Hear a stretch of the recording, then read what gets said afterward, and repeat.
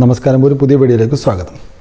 സാധാരണ നമ്മളെല്ലാവരും ഒരു ബിസിനസ് സ്റ്റാർട്ട് ചെയ്യുമ്പോൾ അവരുടെ ഉദ്ദേശം അത് വിജയിപ്പിക്കണം വളരെ മികച്ച രീതിയിൽ മുന്നോട്ട് കൊണ്ടുപോകണമെന്നാണ്. സ്വന്തം സ്ഥാപനം പരാജയപ്പെടണം എന്ന് ആഗ്രഹിക്കുന്ന സംരംഭകർ ഉണ്ടാകില്ല. അപ്പോൾ എന്തുകൊണ്ടാണ് അങ്ങനെ ആഗ്രഹിക്കുന്നത് ചോദിച്ചു കഴിഞ്ഞാൽ നമ്മളെല്ലാം ഉദ്ദേശം ഒറ്റ ഒന്നേ ഉള്ളൂ.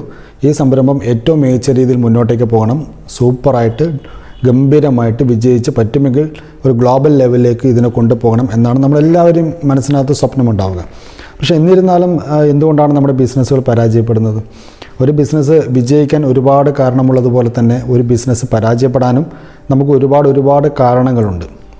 അപ്പോൾ ആ കാരണങ്ങൾ എല്ലാം ഒന്ന് പഠിക്കുക എന്ന് പറഞ്ഞു കഴിഞ്ഞാൽ പ്രായോഗികമായി നടക്കുന്ന കാര്യമല്ല. പക്ഷേ ഒരു സംരംഭം നടത്തുമ്പോൾ അതിന്റെ ഏറ്റവും പ്രാധാന്യമുള്ള ഒരു എലമെന്റ് എന്ന് പറഞ്ഞു കഴിഞ്ഞാൽ സംരംഭകനാണ്.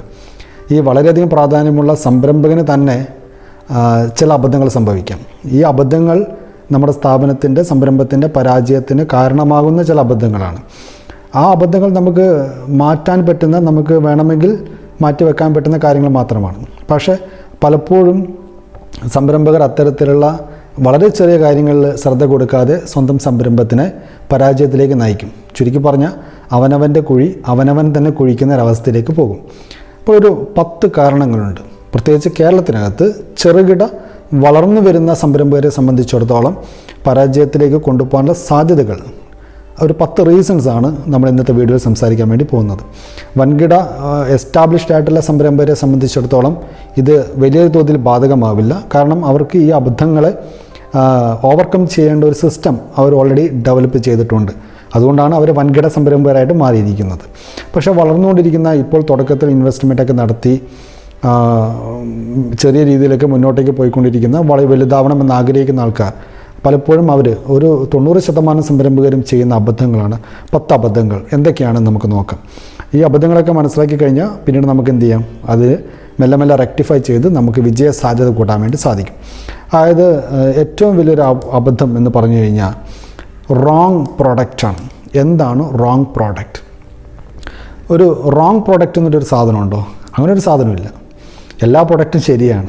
അത് നിയമവിധേയമാവാം നിയമപരമല്ലാത്തതുമാവാം. പക്ഷേ എല്ലാ പ്രൊഡക്റ്റും റൈറ്റ് പ്രൊഡക്റ്റാണ് പക്ഷേ നമ്മുടെ കാലഘട്ടത്തിന് ആ നാട്ടിലെ നിയമവ്യവസ്ഥതയ്ക്കനുസരിച്ച് ആ നാട്ടിലെ ജനങ്ങൾക്ക് ഡിമാൻഡ് ഇല്ലാത്തൊരു പ്രൊഡക്റ്റാണ് നിങ്ങൾ കൊണ്ടുവരുന്നതെങ്കിൽ അത് റോങ് പ്രൊഡക്റ്റാണ് ഉദാഹരണം പറഞ്ഞു കഴിഞ്ഞാൽ പ്ലാസ്റ്റിക് നിരോധിച്ച സ്ഥലത്ത് നമ്മളൊരു പ്ലാസ്റ്റിക് ക്യാരി ബാഗിന്റെ പ്രൊഡക്ഷനാണ് സ്റ്റാർട്ട് ചെയ്യുന്നതെങ്കിൽ പ്ലാസ്റ്റിക് കോട്ടിങ്ങുള്ള പേപ്പർ പ്ലേറ്റാണ് നമ്മൾ സ്റ്റാർട്ട് ചെയ്യുന്നതെങ്കിൽ സ്വാഭാവികമായിട്ടും എന്താണ്?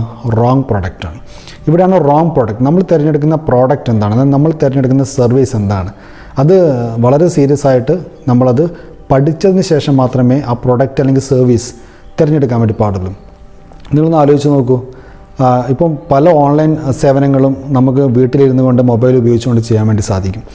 അപ്പോൾ ഓൺലൈൻ സേവനങ്ങൾ കൊടുക്കുന്ന ഒരു സ്ഥാപനമാണ് നിങ്ങൾ സ്റ്റാർട്ട് ചെയ്യുന്നതെങ്കിൽ അതിന് സാധ്യതയുണ്ട്. പക്ഷേ നിലവിൽ നമുക്ക് ചെയ്യാൻ പറ്റാത്തതിന്റെ അപ്പുറത്തേക്കുള്ള ഒരു കാര്യങ്ങൾ കൊടുക്കാൻ പറ്റിയാൽ മാത്രമേ അത് റൈറ്റ് പ്രോഡക്റ്റായി മാറുകയുള്ളൂ. അല്ലെങ്കിൽ എനിക്ക് എന്റെ വീട്ടിലിരുന്ന് എന്റെ ഫോൺ ഉപയോഗിച്ച് ചെയ്യാൻ വേണ്ടി പറ്റുന്ന സർവീസ് തന്നെയാണ് നിങ്ങൾ അവിടെ കൊടുക്കുന്നതെങ്കിൽ അതും പത്ത് രൂപ എക്സ്ട്രാ വാങ്ങിച്ചിട്ടാണെങ്കിൽ നിങ്ങൾ കൊടുക്കുന്നതെങ്കിൽ ആ സംരംഭകന്റെ പ്രോഡക്റ്റ് സർവീസ് എന്താണ്? റോങ് ആണ്.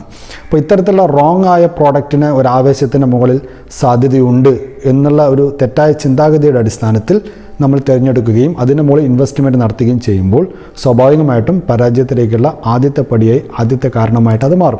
രണ്ടാമത്തെ റീസൺ എന്ന് പറഞ്ഞാൽ റോങ് പ്ലേസ് ആണ്. തെറ്റായ സ്ഥലം വീണ്ടും പറയുകയാണ് അങ്ങനത്തെ ഒരു സ്ഥലം ലോകത്തില്ല തെറ്റായ സ്ഥലം. പക്ഷേ ഓരോ ബിസിനസ്സിനും അതിന്റേതായ ചില സ്ഥലങ്ങളുണ്ട്. നിങ്ങളൊരു ഒരു ചിക്കൻ ഫാം നടത്തുവാണെന്ന് വിചാരിച്ചു. നിങ്ങളൊരു പൗൾട്രി ഔട്ട്ലെറ്റ് നടത്തുവാണ്. അവിടെ ചിക്കൻ നിങ്ങൾക്ക് വാങ്ങിക്കാൻ വേണ്ടി പറ്റും. നമുക്ക് വാങ്ങിക്കാൻ വേണ്ടി പറ്റും. പക്ഷേ അവിടെയുള്ള ജനങ്ങളൊക്കെ കൂടുതലും വെജിറ്റേറിയനാണ് നിങ്ങൾ ആലോചിച്ച് നോക്കൂ. ഒരു ചിക്കൻ സെന്റർ ഉടുപ്പിയിൽ കൊണ്ട് സ്റ്റാർട്ട് ചെയ്യുന്നതിന്റെ ഒരു ലോജിക്ക് ആലോചിച്ച് നോക്കും. കാരണം അവിടെ റോങ് ആണ്. അതുപോലെ അത്തരത്തിൽ ചില പ്രൊഡക്റ്റുകൾക്ക് റോങ് പ്ലേസ് ഉണ്ട്. ഇപ്പോൾ ഏറ്റവും കൂടുതൽ മെഴുകുതിരി വിറ്റ് പോകുന്ന സ്ഥലങ്ങൾ കണ്ടിട്ടുണ്ട്. ഇപ്പോൾ എറണാകുളത്തൊക്കെ യാത്ര ചെയ്യുകയാണെങ്കിൽ അവിടെ ഈ കപ്പേലയുടെയൊക്കെ മുമ്പിൽ മെഴുകുതിരി വിൽക്കുന്ന ആൾക്കാരെ കാണാൻ വേണ്ടി പറ്റും. കാരണം ആ ആ- സാഹചര്യത്തിലൊരു പ്രോഡക്റ്റാണ് എന്ത്? മെഴുകുതിരി.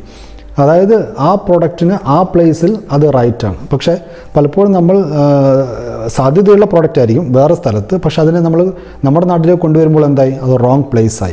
അപ്പോൾ നിങ്ങൾ ആലോചിക്കേണ്ട ഇത്രയേ ഉള്ളൂ. സംരംഭം പരാജയപ്പെടണം എന്ന് ആഗ്രഹമില്ലെങ്കിൽ അതിന്റെ അർത്ഥം വിജയിക്കണം എന്നാണ് നിങ്ങളുടെ ആഗ്രഹമെങ്കിൽ നിങ്ങൾ കൊണ്ടുവരുന്ന പ്രോഡക്റ്റ് അത് ശരിയായ പ്രോഡക്റ്റാണോ നമ്മുടെ കാലഘട്ടത്തിന് പറ്റിയ പ്രോഡക്റ്റാണോ അതേ സമയത്ത് അത് കൊണ്ടുവരുന്ന സ്ഥലം ഞാൻ ബിസിനസ് ചെയ്യുന്ന സ്ഥലം അത് ശരിയായ സ്ഥലത്താണോ ചെയ്യുന്നത്? ചിലപ്പോൾ നമുക്ക് ശരിയായ സ്ഥലത്തിന് വേണ്ടിയിട്ട് ജില്ല വിട്ട് സംസ്ഥാനം വിട്ടൊക്കെ ബിസിനസ് ചെയ്യേണ്ടി വരും. അങ്ങനെയാണ് നിങ്ങൾക്ക് അത്രയും താല്പര്യമുണ്ടെങ്കിൽ. പക്ഷെ പലപ്പോഴും എന്റെ സൗകര്യത്തിന് എന്റെ നാട്ടിൽ എന്റെ വീട്ടിനടുത്ത് എനിക്ക് ബിസിനസ് ചെയ്യണം എന്ന ആഗ്രഹം കൊണ്ട് മാത്രം നമ്മളൊരു റോങ് പ്ലേസിലേക്ക് നമ്മുടെ ബിസിനസ്സിനെ കൊണ്ടുവന്നു കഴിഞ്ഞാൽ സ്വാഭാവികമായിട്ട് പരാജയപ്പെടാനുള്ള സാധ്യത അങ്ങേയറ്റമായിരിക്കും. അതുകൊണ്ട് അത്തരത്തിലുള്ള സാധ്യതകൾ ഒഴിവാക്കാൻ വേണ്ടി ശ്രദ്ധിക്കണം. മൂന്നാമത്തെ ഒരു റീസൺ സപ്ലൈ ചെയിനാണ് എന്താണ് സപ്ലൈ ചെയിൻ ഉദാഹരണത്തിന് നിങ്ങൾ പാള പ്ലേറ്റുകൾ വളരെയധികം ഡിമാൻഡിങ് ആയിട്ടുള്ള പ്രോഡക്റ്റാണ് പാള കൊണ്ടുള്ള ഉൽപ്പന്നങ്ങൾ പാള പ്ലേറ്റുകൾ പക്ഷേ ഈ പാള പ്ലേറ്റുകൾ നമുക്ക് ഇങ്ങോട്ടേക്ക് ഈ വടക്കൻ കേരളത്തിൽ കാസർഗോഡ് ഒഴികെയുള്ള വടക്കൻ കേരളത്തിൽ കുറച്ച് ബുദ്ധിമുട്ടാണ്. അതിന്റെ ഒരു സക്സസ് ആയിട്ട് കൊണ്ടുപോകാൻ വേണ്ടിയിട്ട്. കൊണ്ടുപോകുന്നില്ല എന്നല്ല. പക്ഷേ മറ്റുള്ള യൂണിറ്റുകളുമായിട്ട് കോമ്പീറ്റ് ചെയ്യാൻ വേണ്ടി കുറച്ച് ബുദ്ധിമുട്ടാണ്. അതിന് കാരണം നിങ്ങൾ ആലോചിച്ച് നോക്കും ഇപ്പം തൃശ്ശൂർ മുതൽ അങ്ങോട്ടേക്ക് ഇടുക്കി അങ്ങോട്ടേക്കൊക്കെ ആണെങ്കിൽ തമിഴ്നാട്ടിൽ നിന്നും അവർക്ക് പാള കൊണ്ടുവരാൻ വേണ്ടി പറ്റും. അതായത് അവർക്ക് സപ്ലൈ റോ മെറ്റീരിയലിന്റെ സപ്ലൈ അതിന്റെ കൊണ്ടുവരുന്നതിന്റെ ദൂരം അവർക്ക് തമിഴ്നാട്ടിൽ നിന്ന് ഇപ്പം കാസർഗോഡ് ഭാഗത്തേക്കാണ് കർണാടകത്തിൽ നിന്ന് പാളകൾ കൊണ്ടുവന്ന് ആ യൂണിറ്റിലേക്ക് എത്തിച്ച് പ്രൊഡക്ഷൻ നടത്തി പുറത്തേക്ക് എടുക്കുമ്പോൾ ആ സപ്ലൈ ചെയിനിൽ ഉണ്ടാകുന്ന കോസ്റ്റ് വളരെ കുറവായിരിക്കും. പക്ഷേ അതിനിടയ്ക്കുള്ള ജില്ലകളൊക്കെ ആണെങ്കിലോ അവർക്ക് റോ മെറ്റീരിയൽ കിട്ടും. പക്ഷെ എന്താ സംഭവിക്കുന്നത്? ആ റോ മെറ്റീരിയൽ മറ്റുള്ള യൂണിറ്റുകൾ എടുക്കുന്ന അതേ സ്ഥലത്തു നിന്ന് തന്നെ നമ്മളെടുത്തേക്ക് കൊണ്ടുവരുമ്പോഴേക്കും അതിന്റെ കോസ്റ്റ് വളരെയധികം കൂടുതലായിരിക്കും. അപ്പോൾ ഒരു സപ്ലൈ ചെയ്യും നമ്മൾ സപ്ലൈ എങ്ങനെയാണ്? മാത്രവുമല്ല നമ്മൾ പ്രോഡക്റ്റ് ഉണ്ടാക്കിയ സ്ഥലത്തുനിന്ന് അത് ഡിസ്ട്രിബ്യൂഷൻ അല്ലെങ്കിൽ മാർക്കറ്റ് ചെയ്യേണ്ട സ്ഥലത്തേക്ക് എത്തിക്കേണ്ടുന്ന ഒരു പ്രോസസ്സ് ഉണ്ട്. അവിടെ ഒരു സപ്ലൈ വരുന്നുണ്ട്. ആ സപ്ലൈ നമ്മൾ എന്ത് ചെയ്യണം? നമ്മൾ ശ്രദ്ധിക്കണം. കാരണം അവിടെ നമുക്ക് ഒരുപാട് എക്സ്പെൻസ് വരുന്നതാണെങ്കിൽ ഒരുപാട് ടൈം എടുക്കുന്നതാണെങ്കിൽ ഒരുപാട് എഫേർട്ട് എടുക്കുന്നതാണെങ്കിൽ നമുക്കത് വലിയ ഭാരമായി തീരും. നമുക്ക് ഒരു- പരിധിക്കപ്പുറത്തേക്ക് ഇത്തരത്തിൽപ്പെട്ട ഭാരങ്ങളെ ഒരു സംരംഭകന് സഹിക്കാൻ വേണ്ടി സാധിക്കില്ല. അപ്പോൾ അത് സ്വാഭാവികമായിട്ടും നമ്മുടെ കയ്യിൽ നിന്ന് പോകും. നമുക്ക് പരാജയം വരാനുള്ള സാധ്യത കൂടും. കാരണം നിങ്ങൾ മനസ്സിലാക്കിക്കോളും എന്തുകൊണ്ടാണ് ഏറ്റവും അധികം ഡിമാൻഡിങ് ആയിട്ടുള്ള പച്ചക്കറികൾ. അതായത് രാസ മാലിന്യങ്ങളൊന്നും തന്നെ ഉപയോഗിക്കാത്ത പച്ചക്കറികൾക്ക് എന്തുകൊണ്ടാണ് അത് ഉൽപ്പാദിപ്പിക്കുന്ന ആൾക്കാർക്ക് അതിന് കറക്റ്റ് പ്രൈസ് കിട്ടാത്തത്? അതിന് ഇത്രയേ ഉള്ളൂ. അവർക്ക് അതിനെ പ്രോപ്പർ സപ്ലൈ ചെയ്യാൻ വേണ്ടി പറ്റുന്നില്ല എന്നാണ്. പക്ഷേ അതിന് കറക്റ്റ് സപ്ലൈ ചെയ്യുന്ന കമ്പനികൾക്ക് കർഷകർക്ക് നന്നാൽ നല്ല രീതിയിൽ പ്രോഫിറ്റ് ഉണ്ടാക്കാനും സാധിക്കുന്നുണ്ട്. അപ്പോൾ അത്തരത്തിൽ ആ സപ്ലൈ നിങ്ങൾ മാനേജ് ചെയ്യുക എന്നുള്ളതാണ്. അതില്ലെങ്കിൽ പരാജയ സാധ്യത കൂടുതലാണ്. അതിന്റെ അടുത്തൊരു റീസൺ എന്ന് പറയുന്നത് ഇൻട്രസ്റ്റഡ് അല്ലാത്ത ബിസിനസ്സിനകത്തേക്ക് ഇറങ്ങുക എന്നുള്ളതാണ്. പലപ്പോഴും ഞങ്ങളുടെയൊക്കെ അടുത്ത് വരുന്ന ആൾക്കാർ ചോദിക്കുന്ന ഒരു ചോദ്യമുണ്ട്. ഇപ്പോൾ സാധ്യതയുള്ള ബിസിനസ് ഏതാണ്? സത്യം പറഞ്ഞാൽ ഇപ്പോൾ സാധ്യതയുള്ള ബിസിനസ് എന്ന് പറഞ്ഞാൽ അങ്ങനെ ഒരു ബിസിനസ് ഇല്ല എന്നാണ് വ്യക്തിപരമായ എന്റെ ഒരു അഭിപ്രായം. നമുക്ക് ഏത് ബിസിനസ്സും വിജയിപ്പിച്ചെടുക്കാൻ വേണ്ടി സാധിക്കും. അൺലെസ് നിങ്ങൾക്കത് താല്പര്യമുള്ള നിങ്ങളുടെ ഇഷ്ടമുള്ള നിങ്ങൾക്ക് പാഷനുള്ള ഒരു മേഖലയാണെങ്കിൽ. നിങ്ങൾക്കത് സൂപ്പർ ഡ്യൂപ്പർ ഹിറ്റാക്കി മാറ്റാൻ വേണ്ടി സാധിക്കും. പക്ഷേ നിങ്ങൾക്ക് താല്പര്യമില്ലാത്തൊരു ബിസിനസ്സിന് നിങ്ങൾക്ക് ഒരു പണം കിട്ടും എന്നുള്ള ഒറ്റ പ്രതീക്ഷ കൊണ്ട് മാത്രം അത് തുടങ്ങിക്കഴിഞ്ഞാൽ നിങ്ങൾക്ക് അധികകാലം കൊണ്ടുപോകാൻ വേണ്ടി സാധിക്കില്ല. സ്വാഭാവികമായിട്ടും നിങ്ങൾക്ക് അതിനോട് വെറുപ്പായിരിക്കും. അതൊഴികെ ബാക്കി എന്ത് ചെയ്താലും നിങ്ങൾക്ക് എന്തായിരിക്കും? സന്തോഷമായിരിക്കും. അപ്പോൾ അത്തരത്തിലുള്ള അബദ്ധങ്ങൾ ചെന്ന് ചാടാതിരിക്കണമെന്നുണ്ടെങ്കിൽ നിങ്ങൾക്ക് ഇഷ്ടമുള്ള മേഖലയിൽ തന്നെ എന്ത് ചെയ്യുക? ബിസിനസ് ചെയ്യുക. നിങ്ങൾക്ക് കൃഷിയാണ് താല്പര്യമെങ്കിൽ കൃഷിയുമായി ബന്ധപ്പെട്ടതിനെ ബിസിനസ്സായിട്ട് കൊണ്ടുവരാൻ വേണ്ടി ശ്രമിക്കുക. അപ്പോൾ അഗ്രികൾച്ചർ പ്രൊഡക്ട്സിന് ഹ്യൂജ് ഡിമാൻഡുള്ള ഒരു നാട്ടിലാണ് നമ്മൾ ജീവിക്കുന്നത്. പശു വളർത്തലാണ് നിങ്ങൾക്ക് ഇഷ്ടമെങ്കിൽ അതിനെ നിങ്ങൾ സ്നേഹിക്കുക. അതിൽ നിന്ന് നിങ്ങൾ എന്ത് ചെയ്യുക? ബിസിനസ്സാക്കി കൺവേർട്ട് ചെയ്യുക പ്രോഫിറ്റ് ഉണ്ടാക്കുക. നിങ്ങൾക്ക് സിസ്റ്റം കമ്പ്യൂട്ടറൊക്കെ ബന്ധപ്പെട്ട അതാണ് ഇഷ്ടമെങ്കിൽ നിങ്ങൾ അതുമായി ബന്ധപ്പെട്ട ഐ ടി സെക്ടറിനകത്ത് ഒരു സർവ് ഒരു സർവീസ് ഇൻഡസ്ട്രി അല്ലെങ്കിൽ പ്രോഡക്റ്റ് ഇൻഡസ്ട്രി ഡെവലപ്പ് ചെയ്ത് അവിടെ നിങ്ങൾ ബിസിനസ് ചെയ്യാൻ വേണ്ടി നോക്കുക. അല്ലാതെ നിങ്ങൾക്ക് പശു വളർത്തലിന് തൽക്കാലം ഇപ്പം സർക്കാർ സബ്സിഡി ഉണ്ട് എന്നാൽ പിന്നെ അതങ്ങ് തുടങ്ങിയേക്കാം എന്നുള്ള താല്പര്യത്തിൽ നിങ്ങൾ താൽക്കാലികമായിട്ട് തുടങ്ങിക്കഴിഞ്ഞാൽ കുറച്ച് കാലമൊക്കെ നിങ്ങൾ അതുകൊണ്ട് പോകും. പിന്നീട് പശുവിനെ വെറുക്കാൻ തുടങ്ങും പശുവിന്റെ അലർച്ച നിങ്ങൾക്ക് രസകരമായി തോന്നില്ല. അതുപോലെ തന്നെ അത്തരത്തിൽ ഇൻട്രസ്റ്റ് അല്ലാത്ത വിഷയങ്ങൾ എടുത്തു കഴിഞ്ഞാൽ ഏരിയയാണ് നിങ്ങൾ എടുക്കുന്നതെങ്കിൽ സ്വാഭാവികമായിട്ടും പരാജയപ്പെടാനുള്ള സാധ്യത വളരെ കൂടുതലാണ്. അടുത്തൊരു റീസൺ എന്ന് പറഞ്ഞു കഴിഞ്ഞാൽ ലീഗൽ ഡോക്യുമെന്റ്സ് ആണ്. നിയമപരമായ ഒരു സംരംഭം വെച്ച് പുലർത്തേണ്ടുന്ന നിയമപരമായ ഡോക്യുമെന്റ്സ് നിങ്ങൾ വെച്ചിട്ടില്ലെങ്കിൽ സ്വാഭാവികമായിട്ടും അത് നിങ്ങൾക്ക് പിന്നീട് പ്രശ്നങ്ങൾ ഉണ്ടാക്കുകയും ചിലപ്പോൾ സംരംഭം പൂട്ടിപ്പോവേണ്ടി വരികയും ചെയ്യും. ഇപ്പോൾ തൊഴിലാളികളെ ഉള്ള ഒരു സ്ഥാപനമാണെങ്കിൽ അതിന്റെ എണ്ണത്തിനൊക്കെ അനുസരിച്ച് അതുമായി ബന്ധപ്പെട്ട ലീഗൽ ഡോക്യുമെന്റ്സ് നിങ്ങൾ വെക്കേണ്ടതാണ്. സ്ഥാപനത്തിന്റെ ഔദ്യോഗിക രേഖകൾ സ്ഥലവുമായി ബന്ധപ്പെട്ട രേഖകൾ അതിന്റെ പാട്ടക്കരാർ തുടങ്ങിയ കാര്യങ്ങളൊക്കെ നിങ്ങൾ എന്ത് ചെയ്തിരിക്കണം. സെറ്റ് ചെയ്തിരിക്കണം നമ്മൾ സ്വാഭാവികമായിട്ട് പറഞ്ഞൊരു കാര്യമാണ് പഞ്ചായത്ത് രജിസ്ട്രേഷന്റെ ആവശ്യമില്ല. ശരിയാണ്. പഞ്ചായത്ത് രജിസ്ട്രേഷൻ എന്ന് പറഞ്ഞത് നമുക്കിപ്പോൾ മൂന്ന് വർഷത്തേക്ക് എടുത്തില്ലെങ്കിലും വലിയ കുഴപ്പമൊന്നുമില്ല. അത് ഇൻഡസ്ട്രിക്ക് അനുസരിച്ചാണ്. എല്ലാ വ്യവസായങ്ങൾക്കും അല്ല. പക്ഷേ നിങ്ങൾ ആലോചിച്ച് നോക്കുക നിങ്ങൾ പഞ്ചായത്ത് ലൈസൻസ് എടുക്കാൻ പറ്റുമെങ്കിൽ നിങ്ങൾ എടുത്തോളൂ. അതാണ് നിങ്ങൾക്ക് നല്ലത്. കാരണം ആ ഒരു ലീഗലി നിങ്ങൾ ഓക്കെയാണ് എന്നാൽ പിന്നെ അത് വേണ്ടല്ലോ. എന്നാൽ പിന്നെ ഒഴിവാക്കിയിട്ട് ചെയ്താക്കാം.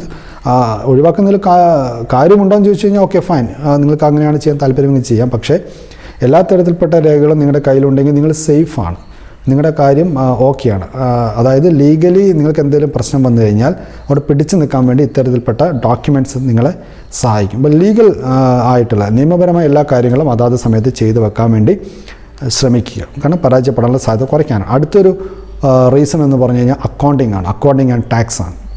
നമ്മൾ പലപ്പോഴും ആ, പൊതുവെയുള്ളൊരു സ്വഭാവമാണ് ടാക്സ് എങ്ങനെ അടക്കാതിരിക്കുക. ഈ ടാക്സ് ഇങ്ങനെ അടക്കാതിരിക്കാം എന്നല്ല നമ്മൾ നോക്കേണ്ടത്. നമ്മൾ ടാക്സ് അടക്കേണ്ട ആളാണെങ്കിൽ നമ്മൾ ടാക്സ് അടക്കണം. എന്തിനാണ് ടാക്സ് അടക്കേണ്ടത്? കാരണം നിങ്ങൾക്ക് നിങ്ങൾ പ്രോപ്പറായ ടാക്സ് തുടങ്ങിയ അക്കൗണ്ടിങ് കാര്യങ്ങളൊക്കെ ചെയ്യുന്ന ഒരാളാണെങ്കിൽ നിങ്ങൾക്ക് എവിടെയും തല ഉയർത്തി നിൽക്കാൻ വേണ്ടി സാധിക്കും. നിങ്ങൾ ആരുടെ മുമ്പിൽ തല കുനിക്കേണ്ട ആവശ്യമില്ല. കാരണം അത് നിങ്ങൾക്കൊരു ഭീകരമായ ഗംഭീരമായ ഒതന്റിസിറ്റി നൽകും. നിങ്ങൾ ജെന്യൻ ആണ്. നിങ്ങൾ ശരിക്കും റിയൽ ആണെന്നുള്ളൊരു ഒരു ഒരു പവർ നിങ്ങൾക്ക് നൽകും. അതായത് അത്തരത്തിൽപ്പെട്ട പ്രശ്നങ്ങളെ നിങ്ങൾക്ക് പിന്നീട് അഭിമുഖീകരിക്കേണ്ടി വരില്ല. ഈ കണക്കിൽ കൃത്രിമം കാണിച്ച് പൂട്ടിപ്പോയ വൻകിട കമ്പനികൾ ഇന്ത്യയിലുണ്ട് എന്ന് നിങ്ങൾക്കറിയാം. അതിനൊക്കെ പേര് നിങ്ങൾക്കറിയാം. അപ്പോൾ അത് വൻകിട കമ്പനികൾക്കും ചെറുകിട കമ്പനികൾക്കും എല്ലാം ബാധകമാണ്. ഇത് വലിയൊരു ബുദ്ധിമുട്ടുള്ള കാര്യമല്ല. സത്യം പറഞ്ഞാൽ അതിന്റെ വരവ് ചിലവ് കണക്കുകളൊക്കെ കൃത്യമായി മെയിന്റെയിൻ ചെയ്യാൻ വേണ്ടി നിങ്ങൾക്ക് സാധിക്കുന്നുണ്ടെങ്കിൽ അതിന് ഒരുപാട് ഒരുപാട് ആപ്ലിക്കേഷൻസൊക്കെ അവൈലബിൾ ആണ്.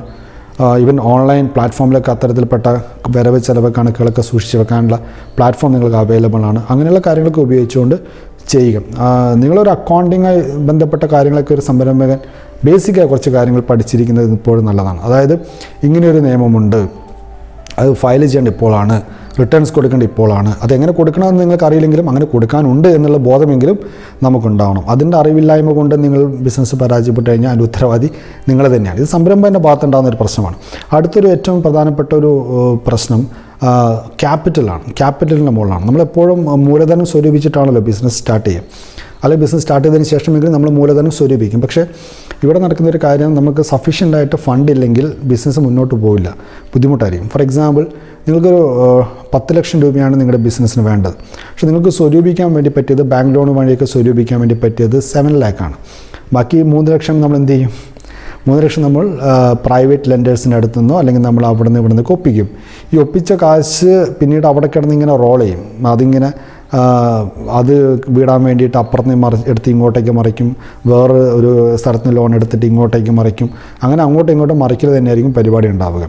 അതായത് ഒരു ബിസിനസ്സിന് വേണ്ട ഫണ്ട് ടെൻ ലാക്ക് ആണെങ്കിൽ ടെൻ ലാക്ക് സ്വരൂപിച്ചതിന് ശേഷം മാത്രമേ അതിലേക്ക് ഇറങ്ങാവൂ. ഇല്ലെങ്കിൽ അത്തരത്തിൽ ബാക്കപ്പ് ഉള്ള ഒരാളായിരിക്കണം നിങ്ങൾ. ഇല്ലെങ്കിൽ എന്താ സംഭവിക്കുക? നമ്മളൊരു ആവേശത്തിന് മുകളിൽ നമുക്ക് ബാക്കി വരുന്നിടത്ത് വെച്ച് കാണാം. ഒരിക്കലുമില്ല. കാരണം പലപ്പോഴും ഈ മൂന്ന് ലക്ഷം മിസ്സിംഗ് ആയിരുന്ന മൂന്ന് ലക്ഷം അല്ലെങ്കിൽ നിങ്ങൾക്ക് കിട്ടാത്ത ആ ഗ്യാപ്പ് വരുന്ന പൈസ എന്ന് പറഞ്ഞാൽ നിങ്ങളുടെ വർക്കിംഗ് ക്യാപിറ്റലിലേക്കായിരിക്കും വർക്കിംഗ് ക്യാപിറ്റൽ നിങ്ങൾക്കില്ലെങ്കിൽ നിങ്ങൾ എങ്ങനെ ബിസിനസ് മുന്നോട്ട് കൊണ്ടുപോകും എന്നുള്ളത് ഭീകരമായ ചോദ്യമാണ്. അപ്പോൾ അത്തരത്തിൽ പ്രശ്നങ്ങളാവാതിരിക്കണമെന്നുണ്ടെങ്കിൽ സ്വാഭാവികമായിട്ടും നിങ്ങൾ എന്ത് ചെയ്യണം? ക്യാപിറ്റലിന്റെ മുകളിൽ ശ്രദ്ധ കൊടുക്കണം. ഇപ്പം ക്യാപിറ്റൽ അധികമായാലും പ്രശ്നമാണ്. കുറവ് മാത്രമല്ല അധികമായാലും. കാരണം ടെൻ ലാക്ക് വേണ്ട സ്ഥലത്ത് നിങ്ങൾക്കൊരു ഫിഫ്റ്റീൻ ലാക്ക് നിങ്ങൾ ചെയ്യുകയാണ്. ഫിഫ്റ്റീൻ ലാക്ക് നിങ്ങൾ അനാവശ്യമായിട്ട് ക്യാപിറ്റൽ ഇറക്കുന്നതും അതിന്റെ ഫണ്ട് മാനേജ്മെന്റിനൊക്കെ ഒരുപാട് പ്രശ്നങ്ങളുണ്ടാക്കും. അപ്പോൾ നിങ്ങൾക്കൊരു ഓവർ കോൺഫിഡൻസ് ഉണ്ടാവും. അവിടെ കൃത്യമായ പ്രോപ്പർ അക്കൗണ്ടിങ് ഇല്ലെങ്കിൽ പിന്നെ അത് തീർന്നു. അതുകൊണ്ട് ഫണ്ട് പ്രോപ്പർ കറക്റ്റായിട്ട് ഫണ്ട് വെക്കണം. സത്യം പറഞ്ഞാൽ ഒരു സംരംഭകൻ അദ്ദേഹത്തിന്റെ ജീവിതത്തിൽ സംരംഭകന്റെ ജീവിതത്തിൽ കുടുംബ ജീവിതത്തിലല്ല സംരംഭകന്റെ ജീവിതത്തിൽ പരമാവധി പിശുക്കനാവുന്നതാണ് നല്ലതെന്നാണ് എക്സ്പേർട്ടായിട്ടുള്ള ഫീൽഡിൽ പരിചയമുള്ള സംരംഭകരൊക്കെ പറയുന്നത്. കാരണം എല്ലാ കാര്യത്തിലും പണത്തിന് പ്രാധാന്യം കൊടുത്തുകൊണ്ട് അതിന് പ്രോപ്പറായ ചാനലിലൂടെ തന്നെ അത് ഉപയോഗിക്കാൻ വേണ്ടി പറ്റുന്നുണ്ടെങ്കിൽ സ്വാഭാവികമായിട്ടും ബിസിനസ് വിജയിക്കാനുള്ള സാധ്യത വളരെ കൂടുതലാണ്. പക്ഷേ അത് ഇങ്ങനെയൊക്കെ നിങ്ങൾ പോട്ടെ എന്ന് പറഞ്ഞു കഴിഞ്ഞാൽ മീൻസ് അക്കൗണ്ടിങ്ങും ഇല്ല ഒന്നുമില്ലാതെയാണ് നിങ്ങൾ ചെയ്യുന്നതെങ്കിൽ അതിന്റെ ക്യാപിറ്റലും കാര്യങ്ങളൊക്കെ തോന്നിയ പോലെ പോകും. അതുകൊണ്ട് അത് പ്രോപ്പറായിട്ട് എന്ത് ചെയ്യുക അതിന്റെ മുകളിൽ ശ്രദ്ധ കൊടുക്കുക ഉപയോഗിക്കുക. അടുത്ത എട്ടാമത്തെ റീസൺ എന്ന് പറഞ്ഞു കഴിഞ്ഞാൽ ക്യാഷ് ഫ്ലോ മാനേജ്മെന്റാണ് എന്താണ് cash flow management cash flow എന്ന് പറഞ്ഞൊരു പോയിന്റ് പലപ്പോഴും പല സംരംഭം ഞാൻ പറയുന്നത് ചെറുകിട ഇപ്പോൾ ഇറങ്ങിക്കൊണ്ടിരിക്കുന്ന വളർന്ന് വളരാൻ വേണ്ടി ആഗ്രഹിക്കുന്ന സംരംഭരാണ് വൻകിട സംരംഭരല്ല വളരെ സിമ്പിളാണ് കാര്യങ്ങൾ. നിങ്ങളുടെ ബിസിനസ്സിനകത്തേക്ക് ക്യാഷ് വരണം ബിസിനസ്സിനകത്തു നിന്ന് ക്യാഷ് പുറത്തേക്ക് പോകണം. ആ ഫ്ലോ ഇങ്ങനെ സംഭവിച്ചുകൊണ്ടേയിരിക്കണം. ഉദാഹരണത്തിന് നിങ്ങൾ ബിസിനസ്സിനകത്തേക്ക് ഇൻകം വരുന്നു. ബിസിനസ്സിനകത്തേക്ക് എക്സ്പെൻസ് അകത്തു നിന്ന് പുറത്തേക്ക് എക്സ്പെൻസ് ആയിട്ട് പോകുന്നു. ഇൻകം നിങ്ങൾ വിറ്റിട്ടോ പ്രൊഡക്റ്റ് വിറ്റിട്ടൊക്കെ കാശ് വരുന്നു. അതിനുശേഷം നിങ്ങൾക്ക് എക്സ്പെൻസ് സാലറി ആയിട്ടും മറ്റ് പേയ്മെന്റൊക്കെ ആയിട്ട് എക്സ്പെൻസ് പോകും. അപ്പോൾ ഈ ഒരു റൊട്ടേഷനിലേക്ക് ഇങ്ങനെ വരും. അപ്പോൾ റോ മെറ്റീരിയൽ വാങ്ങിക്കാനൊക്കെ ആയിട്ട് നിങ്ങൾ ക്യാഷ് കൊടുക്കും. അത് പ്രൊഡക്റ്റായി മാറിയിട്ട് പിന്നെ തിരിച്ച് വീണ്ടും നിങ്ങൾ ബിസിനസ്സിനകത്തേക്ക് ക്യാഷ് ആയിട്ട് വരും. അപ്പോൾ ഈ ഫ്ലോ ഇങ്ങനെ നടന്നുകൊണ്ടേയിരിക്കണം. ഈ ഫ്ലോ നടക്കുന്ന സമയത്ത് ചിലപ്പോൾ ഇത് ബ്രേക്ക് ആവും. എങ്ങനെയാണ് ബ്രേക്ക് ആവുമെന്ന് അറിയോ? നിങ്ങൾ കടത്തിന് സാധനം കൊടുക്കും. കടത്തിൽ സാധനം കൊടുത്തു കഴിഞ്ഞാൽ അടുത്ത മാസം കിട്ടേണ്ട കാശാണ് അത് കിട്ടില്ല. ഇപ്പോൾ സ്വാഭാവികമായിട്ടും എന്തേ അതവിടെ ബ്ലോക്കായി. പക്ഷേ ഇവിടെ ഔട്ട് ക്യാഷ് ഫ്ലോ ഔട്ട് എന്താണ്? അത് നടന്നുകൊണ്ടേയിരിക്കണം. കാരണം സാലറി നിങ്ങൾ കൊടുക്കണം മറ്റ് എക്സ്പെൻസുകൾ നിങ്ങൾക്ക് മീറ്റ് ചെയ്തേ പറ്റൂ. പ്രത്യേകിച്ച് ഒരു കൊറോണ സമയത്ത് പല ചെറുകിട സംരംഭകരും ക്രൈസിസിലായത് അവർക്ക് ക്യാഷ് ഇൻഫ്ലോ ഇല്ല പക്ഷേ ഔട്ട് ഫ്ലോ നന്നായിട്ട് ഉണ്ട് എന്നുള്ളതാണ്. അപ്പോൾ അത്തരത്തിലൊരു ക്രൈസിസിൽ വരുന്ന സമയത്ത് ശ്രദ്ധിക്കുക. നിങ്ങൾക്ക് ഉറപ്പ് വരുത്തണം. ക്യാഷ് അകത്തേക്ക് വരുന്നുണ്ട് ക്യാഷ് പുറത്തേക്ക് പോകുന്നുണ്ട്. പുറത്തേക്ക് എന്തായാലും പോകും വലിയ ബുദ്ധിമുട്ടില്ല. പക്ഷേ അകത്തേക്ക് വരുന്നതിനെ നിങ്ങൾ പ്രോപ്പറായിട്ട് മോണിറ്റർ ചെയ്യണം. അത് ക്യാഷ് കിട്ടാനുള്ള സ്ഥലത്ത് നിന്നൊക്കെ കിട്ടണം. അങ്ങനെ ക്യാഷ് കിട്ടാനുള്ള സ്ഥലത്ത് നിന്നൊക്കെ കിട്ടണമെന്നുണ്ടെങ്കിൽ പ്രോപ്പറായ അക്കൗണ്ടിങ് കാര്യങ്ങളൊക്കെ നിങ്ങൾക്ക് വേണം. അതുകൊണ്ട് നിങ്ങൾക്ക് ഒരു അക്കൗണ്ടന്റിന്റെ മുകളിൽ കുറച്ചൊരു ഇൻവെസ്റ്റ്മെന്റ് നടത്തിയാലും തെറ്റില്ല. പക്ഷേ ഈ പ്രോപ്പർ മണി മാനേജ്മെന്റ് വളരെ പ്രാധാന്യമുള്ളൊരു കാര്യമാണ്. അപ്പോൾ ഈ ഒരു ക്യാഷ് ഫ്ലോനകത്ത് അബദ്ധങ്ങൾ കാണിക്കരുത്. കാരണം വരുമാനമില്ലാത്തൊരു കമ്പനി പൂട്ടിപ്പോവും. പല കമ്പനികളും പ്രോഫിറ്റിനേക്കാൾ ഉപരിയായിട്ട് ചില സമയത്ത് പ്രത്യേകിച്ച് ഈ ഒരു ക്രൈസിസിനൊക്കെ കടന്ന് കവച്ച് വയ്ക്കാൻ വേണ്ടിയിട്ട് പ്രോഫിറ്റിൽ പ്രാധാന്യം കൊടുക്കുന്നതിനേക്കാൾ കൂടുതൽ ക്യാഷ് ഫ്ലോക്ക് പ്രാധാന്യം കൊടുക്കുക പണം വരുന്നു പോകുന്നു. പണം വരുന്നു പോകുന്നു. പണം വരുന്നു പോകുന്നു. അവിടെ പ്രോഫിറ്റ് ഉണ്ടാവണമെന്നില്ല. പക്ഷേ ആ കമ്പനി സ്മൂത്തായിട്ട് റൺ ചെയ്യും. പ്രോഫിറ്റൊക്കെ പിന്നീട് നമുക്ക് അടുത്ത സ്റ്റേജിൽ ഈ ക്രൈസിസ് ഒക്കെ കടന്നതിന് ശേഷം അടുത്ത സ്റ്റേജിലേക്ക് ചിന്തിക്കാൻ വേണ്ടി പറ്റും. പക്ഷേ ഈ ഒരു ക്യാഷ് ഫ്ലോനെ നിങ്ങൾ എന്ത് ചെയ്യുക പ്രോപ്പറായി മാനേജ് ചെയ്യുക അതായത് പണം വരുന്നുണ്ടെന്ന് ഉറപ്പ് വരുത്തുക പണം പണം പോകുന്നുണ്ട് പക്ഷേ പണം വരുന്നുണ്ടെന്ന് ഉറപ്പ് വരുത്തുക അടുത്തൊരു പ്രധാനപ്പെട്ട പോയിന്റ് പ്ലാനിങ്ങിന്റെ അഭാവമാണ്. സംരംഭകർ നല്ല മികച്ച പ്ലാനിങ് ചെയ്യുന്ന ആൾക്കാരായിരിക്കണം. സിസ്റ്റമാറ്റിക് പ്ലാനിങ് ചെയ്യുന്ന ആൾക്കാരായിരിക്കണം. എന്താണ് സിസ്റ്റമാറ്റിക് പ്ലാനിങ് എന്ന് പറഞ്ഞാൽ ഒറ്റ ഏറ്റവും സിമ്പിളായിട്ട് പറയാം. ആദ്യം ചെയ്യേണ്ട കാര്യങ്ങൾ ആദ്യം ചെയ്യണം രണ്ടാമത് ചെയ്യേണ്ട കാര്യങ്ങൾ രണ്ടാമത് ചെയ്യണം. അപ്പോൾ ആദ്യം ചെയ്യേണ്ട കാര്യങ്ങൾക്ക് പകരം നിങ്ങൾ രണ്ടാമത് ചെയ്യേണ്ട കാര്യം എടുത്തിട്ടാണ് ഫസ്റ്റ് ചെയ്യുന്നതെങ്കിലോ എല്ലാം കൂടി ആകെ തകിടം പറഞ്ഞ് കിടക്കും. അപ്പോൾ ഒരു സംരംഭം എന്ന രീതിയിൽ നിങ്ങൾ എഴുതി തയ്യാറാക്കണം എഴുതി തന്നെ തയ്യാറാക്കണം ഞാൻ എന്താണ് ചെയ്യേണ്ടത്? സിമ്പിളാണ് നിങ്ങളൊരു ബാങ്കിലേക്ക് പോകുന്നു. ബാങ്കിൽ ലോണിന് വേണ്ടി പോകുന്നു. ലോണിന് പോകുന്നതിന് മുമ്പായിട്ട് എത്രയാണ് എനിക്ക് ലോണ് വേണ്ടതെന്ന് കൃത്യമായിട്ട് എഴുതി തയ്യാറാക്കി നിങ്ങൾ പോകുന്നുണ്ടെങ്കിൽ നിങ്ങൾ പ്ലാനിങ്ങിൽ ഓക്കെയാണ് പക്ഷെ അതിന് പകരം ബാങ്കിൽ നേരെ ചെന്നിട്ട് എനിക്കെത്ര കിട്ടുമെന്നാണ് ചോദിക്കുന്നതെങ്കിൽ നിങ്ങൾ പ്ലാനിങ്ങിൽ ഒരു ബിഗ് സീറോ ആണ് ഒരു അട്ടർ ഫെയിലറാണ് അപ്പോൾ അത്തരത്തിലുള്ള പ്ലാനിങ് അല്ല വേണ്ടത്. സിസ്റ്റമാറ്റിക് ആ പ്ലാനിങ് വേണം. അത് നിങ്ങൾ ചെയ്തേ പറ്റും. ആ പ്ലാനിങ് ചെയ്യേണ്ടത് സംരംഭകനാണ്. അത് നിങ്ങൾ ചെയ്യുന്നില്ലെങ്കിൽ നിങ്ങൾക്ക് വേണ്ടി വേറെ ആരെങ്കിലുമൊക്കെ ചെയ്തേ പറ്റൂ. പക്ഷേ പലപ്പോഴും നമ്മുടെ ഭാഗത്തു നിന്നുള്ള പ്ലാനിങ്ങിന്റെ അഭാവമാണ് ബിസിനസ്സിന്റെ പരാജയത്തിലേക്ക് നയിക്കുന്ന പ്രധാനപ്പെട്ട ഒരു ഘടകം. അടുത്ത ഏറ്റവും പ്രധാനപ്പെട്ട പത്താമത്തെ ഒരു ഘടകം സംരംഭകന്റെ ശ്രദ്ധ കുറവാണ്. നിങ്ങൾക്ക് കേരളത്തിൽ അറിയപ്പെടുന്ന ഒരു വ്യക്തി ഒരു പ്രമുഖനായ വ്യക്തി അദ്ദേഹം തുടങ്ങിയ ഒരു സംരംഭം മാസങ്ങൾക്കുള്ളിൽ പൂട്ടിപ്പോയിട്ടുണ്ടായിരുന്നു. സിനിമാ രംഗത്തേക്കുള്ള ഒരു പ്രമുഖനായ വ്യക്തിയാണ്. അദ്ദേഹത്തിന്റെ ഒരു സംരംഭമായിരുന്നു. അത് പൂട്ടിപ്പോയി. പൂട്ടിപ്പോകാനുള്ള കാരണങ്ങളിൽ ഒന്ന് എന്ന് പറയുന്നത് ഒന്ന് അദ്ദേഹത്തിന് അതിന്റെ മുകളിൽ ശ്രദ്ധ കൊടുക്കാൻ സമയമില്ല. പലപ്പോഴും നമ്മുടെ നാട്ടിൽ പ്രത്യേകിച്ച് പ്രവാസികളൊക്കെ ശ്രദ്ധിക്കേണ്ട ഒരു കാര്യം നിങ്ങൾ പാർട്ണർഷിപ്പിൽ സ്ഥാപനം സ്റ്റാർട്ട് ചെയ്യും. മൂന്ന് പേരും നാല് പേരും അഞ്ച് പേരൊക്കെ കൂടിയിട്ട്. നിങ്ങൾ പൈസ ഇറക്കും.